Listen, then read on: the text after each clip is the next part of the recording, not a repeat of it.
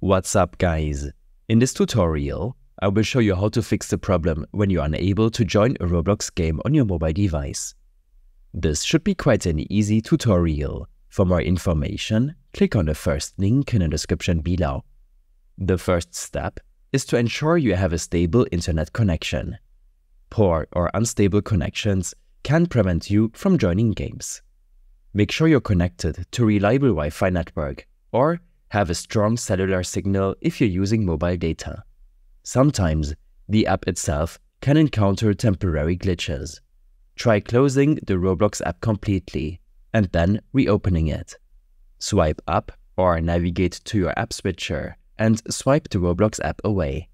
Then relaunch the app and see if you can join a game. A simple device restart can often solve unexpected issues. Turn off your mobile device, wait a few seconds, and then turn it back on.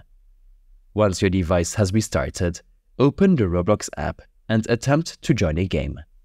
Outdated app versions can sometimes cause compatibility issues.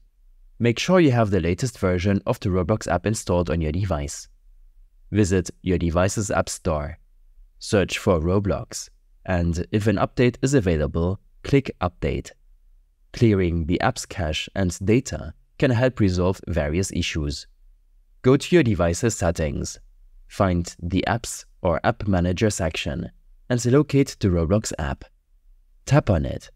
Then select Storage and choose Clear Cache and Clear Data. Note that clearing data will lock you out of the app, so be sure to remember your login credentials. If none of the previous steps work, consider uninstalling and reinstalling the Roblox app.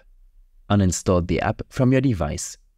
Visit the App Store and reinstall Roblox. This can help resolve any potential issues with your app files.